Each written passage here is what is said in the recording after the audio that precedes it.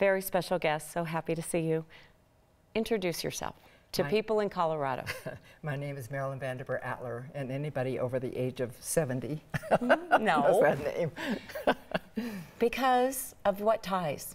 Went to Miss America, Miss America. Miss Colorado, Miss University of Colorado, so long ago. But that, that's such a proud moment for many people in our state. We've only had three. I know. Um, and uh, that's how many people recognized you and knew you until. Until I became, I- I thought Miss America would be what I would always be, but the Denver Post um, put on the front page that I'm an incest survivor. And that was, I thought, the worst day of my life. It turned out to be an entirely new beginning of the most incredible life.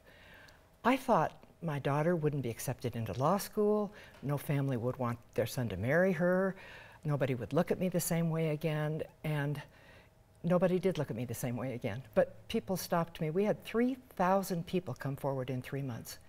We founded an entire huge building called Sun, and we saw up to 500 people a week for free. It was just an amazing time, and I'm still traveling. I'm still speaking about it. So that was how many years ago? 28. 28 years ago. When you think about it, you had accomplished so much, and, and we really don't even have enough time, but people knew you as a TV spokesperson, motivational speaker, and then they see this other thing that everybody looks at this perfect life Right. and they say, oh my gosh, Yeah. it wasn't perfect. From age 5 to age 18, 13 years. It was a long, it was a difficult journey. And those memories were kind of repressed in your mind. They were repressed, uh, which is very difficult for people to understand. Um, my youth minister, who had known me for nine years, kept watching me, and he would just tuck little pieces of a puzzle into the back of his mind. And when I married someone other than the man I have loved since I was 15 years old and have been married to for 53 years, when I married someone other than Larry, he said, Okay, now I understand. She's trying to destroy herself. I just have to understand why. And the next time we met, after nine years, he asked me the question. I don't remember it. Did your father come into your bedroom at night, however he wanted to say it? And I didn't say anything. I just sobbed. I just sobbed and sobbed and sobbed. All the, all the memories came up. My eldest sister, Gwen, has all of her memories, but mine were repressed until age 24. So I was choosing um, an abusive marriage because that's what I felt I, I deserved. I didn't deserve Larry, Larry Atler. So when you talk to people, uh, how do you explain to them how they resolve that? Because then you're telling family members about the secret and you're confronting it and confronting your own mother. Well, first I confronted my father, and I was 40. I had been hospitalized. My trigger was my daughter's age. So when Jennifer turned five, the age I was when it began, her age It all came began shutting me down. So I was hospitalized with paralysis. And we didn't know, I didn't know what was causing it, but I did in the hospital say there's something that I need to do. I need to talk to my father. And so I went into therapy for the first time and told my psychiatrist, and he said, You can't do that for two years. You can't talk to your father for two years. I, I walked out of there and called my father, and I said, I, I need to speak to you. And I drove home as fast as I could because I, I was terrified of doing this. And when he knew why, all I said was, This is the most difficult thing I've ever done. And he said, I'll be back in a minute. And he went up the long, winding staircase. When he came back, there was absolutely no doubt in my mind he had a gun. Knew he had a gun. Knew he could use it. But I also knew I was going to die a day at a time. And so I confronted him. Um, my anger had not come up yet. Um, he said, If I had known what it would do to you, I never would have done it. I was 40.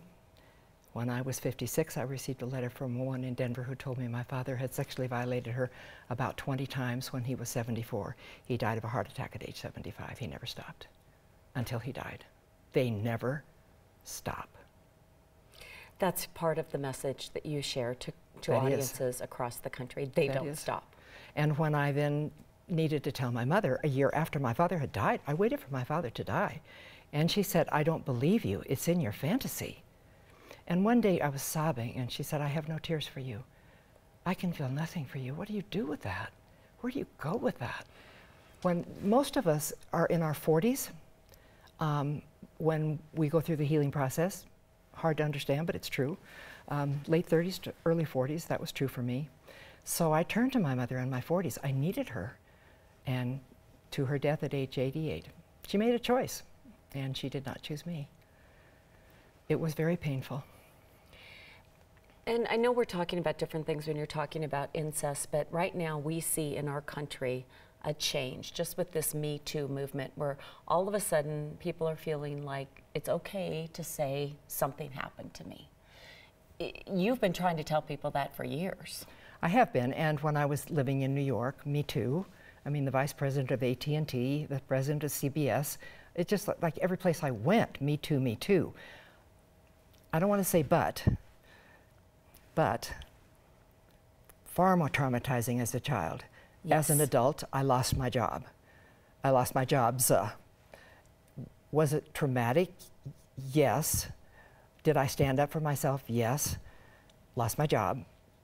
Very different from children. And the reason I was so excited when you asked me to come to talk to you today is because after my story broke, book, publish, book publishers and mo movie producers called and I didn't want to do that.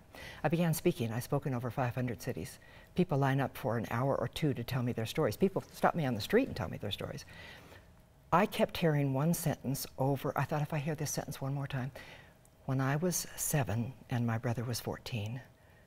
When I was eight and my brother was 13.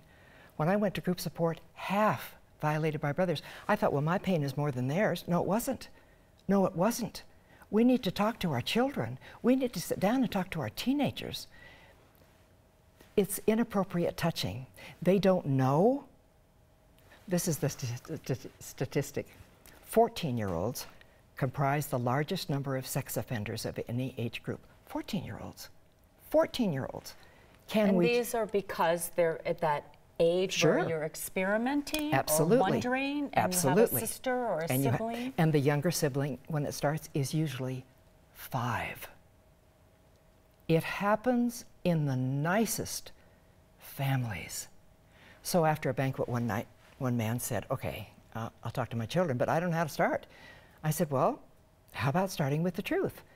Last night I went to a banquet and this woman said, I need to sit down and talk to you kids. And this is hard for me. I hope it'll be easier for you when you're with your children, but here we go. I said, Can you do that? He said, I can do that.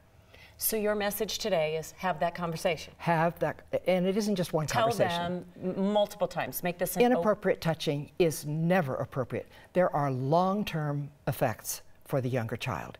It can never happen with a younger or less powerful child. And occasionally girls are, one of our best known Miss Americas, Vanessa Williams, was sexually molested, uh, I think she was 12, by an older teenager girl, and it only happened once and it impacted her life mm -hmm. very strongly. So we need to talk to our girls as well. Don't have teenagers babysit for younger children. Please don't do that. If, if you were in my shoes for one week, you wouldn't do that. We need to talk to our children. We need to protect them. We need to be aware of it. It's happening all the time in many, many, many families. Uh, one out of six boys. The man, oh, the man, yeah. the man who stopped me. If you had one up, and I know you have so many uplifting, positive things that have happened in your life, and good things, and this is empowering. Your message to someone that's suffering is it that there is the other side, or how do you get there? What's your message to them? Email me. Email you. Yeah. Call. You. I know you get these emails this and calls. I, this is what I do, four to five hours every single day. I just email me. I'm there. You need to talk about it. And if your shame is too big to disclose to someone, I'm pretty anonymous. I'm very confidential. You need to start talking about it. Pick someone that you trust and talk to them about it. It's the secret and the shame. When my story was on the cover of People magazine, it said Miss America overcomes shame. That's what it's about. Is shame. It wasn't rape or incest. It's the secret and the shame. We need to start talking about it, just like this Me Too. Yeah. With these women who are starting, and men. Absolutely. are starting to so I. I kind of look at your life in, in, in two giant chapters. Yep. And you had accomplished so much and the crown and all the glory. But boy, Nothing, nothing. that was like- not a good place to be in. You're Oh. much happier. I am, I am 80 and just filled with meaning and joy. Yeah, I got to the other side. Okay. And they can email you, you have a website, and you have a book. I do. You've Am- got- Miss America by day. All right. It's always important and important to talk about. Thank you. Family discussions. Family discussions. Yeah. I'm so glad here. Thank you for coming. Thank you for inviting me.